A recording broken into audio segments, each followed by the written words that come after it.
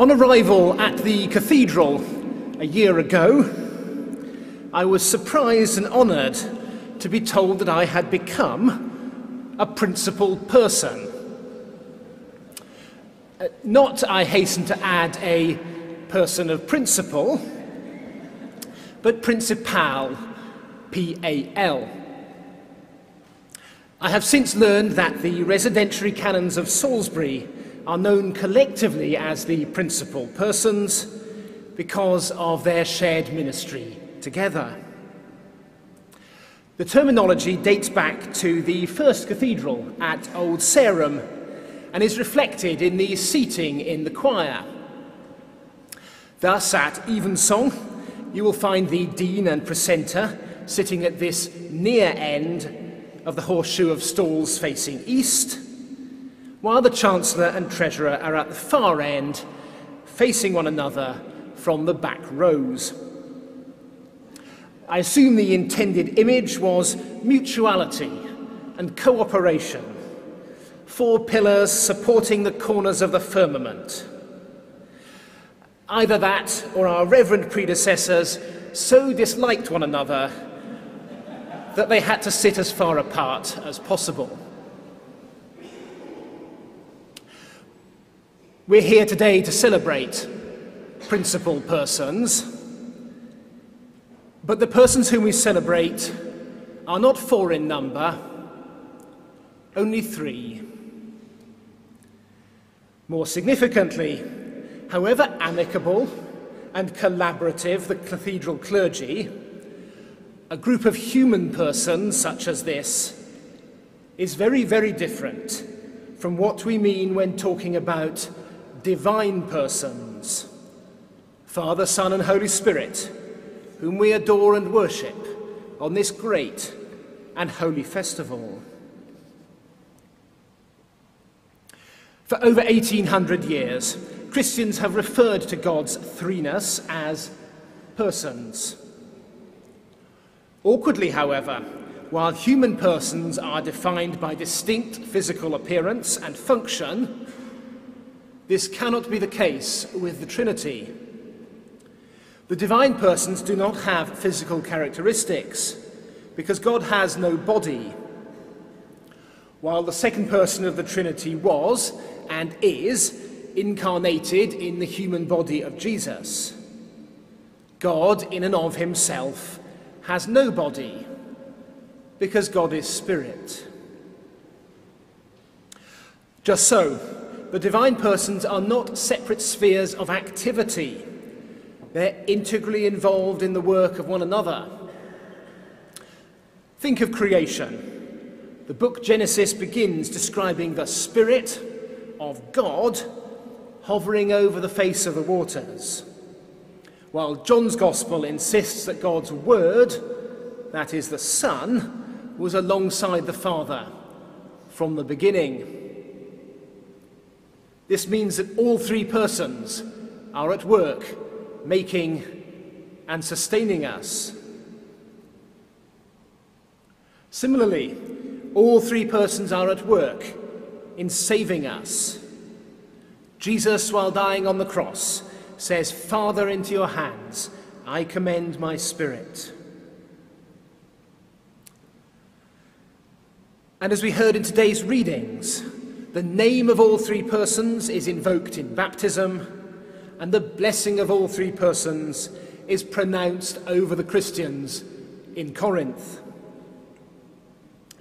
And from all this, the early church derived the important axiom that the external actions of the Trinity are one. All three persons are always at work together in making and saving the world. And this means that personhood for God must be very different, and in particular, less individuated than it is for humans. While to be a human person is to be an independent individual, a distinct centre of consciousness, an originator of activity, this is not what we mean when we talk about the divine persons. The complexity stems in part from the etymology of person. The Latin word persona began as a term for masks worn in Etruscan plays. In other words, the characters which an actor might adopt on stage. Now, there were some in the early church who considered this to be a useful model for the Trinity, as if the one God had three successive faces or modes a stern father for the Old Testament, a loving son of the Gospels, and an energizing spirit for this present age after Pentecost.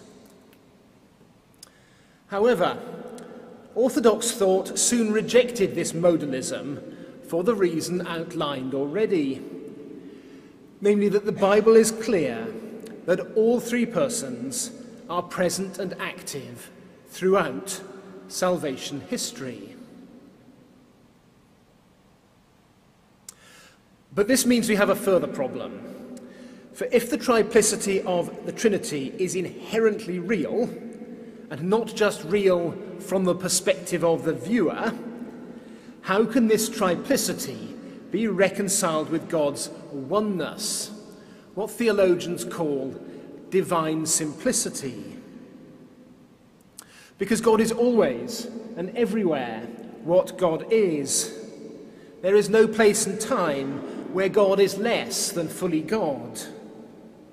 And we don't want to undermine this when we talk about God's threeness. There is, I think, a particular risk with visual illustrations of the Trinity, because these can be misunderstood as individuating the persons more than the artist intended. You may know the famous icon by Andrei Rublev, which depicts the Father, Son, and Holy Spirit munching crudities around a table at the home of Abraham and Sarah. Or you may have seen the Trinity depicted as a bearded old man, a superhero's son, and a fluffy white dove. These images contain important truths, but we must not overinterpret them into likening the divine persons to human persons. Because to do that would leave Christianity open to the allegation that we worship three gods. But we are not tritheists. We worship one God.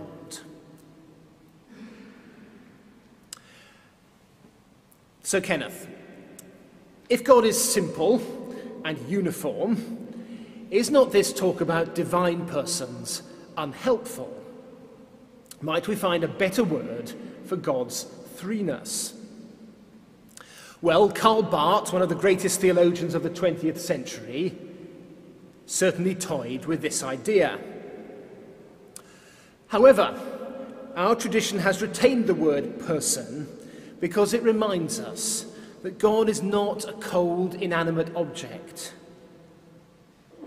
not some mathematical conundrum to be solved, but the amazing, effervescent self existence at the heart of creation and redemption. Indeed, to talk about the Trinity as persons is ultimately a proclamation that God is relational. And that relationality is, first and foremost, internal. Let me explain what I mean. We have resisted the temptation to partition God into three. There cannot be physical divisions or differences of action within the Godhead.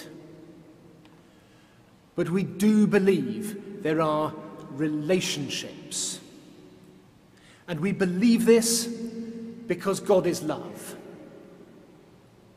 Love is not a thing, but a verb, not static, but dynamic and this means if God is love, then God loves God's self, such that there is a subject and an object of divine love. The subject we call the Father, the object we call the Son. And these two are bonded by the very power of love itself, love of God the Father, love of God the Son, which proceeds from both, and is, of course, the Holy Spirit.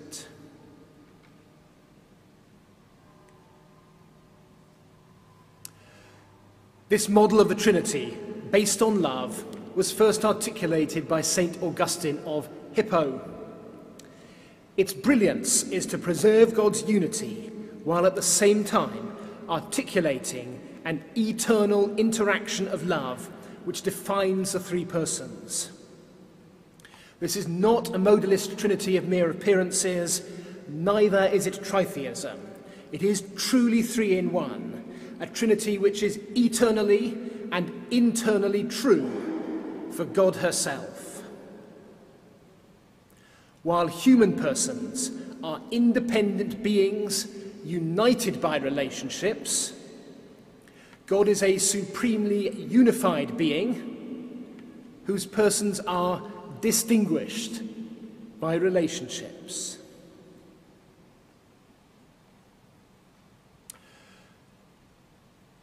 Trinity Sunday is a challenge to humility and confidence. We need humility not to make God in our own image, persons individuated by shape and function. And we need confidence to uphold the classical theological belief in one God. Humility and confidence, qualities which stand us in the tradition of our forebears, with whom we ascribe to God three persons in one substance, all might, majesty, dominion, and power, now and forever. Amen.